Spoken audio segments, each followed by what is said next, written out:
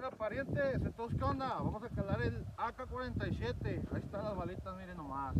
Si quieren ver todo el video, cómo vamos a rafaguear, vayan a ver los videos y no se los pierdan. Ahí los espero.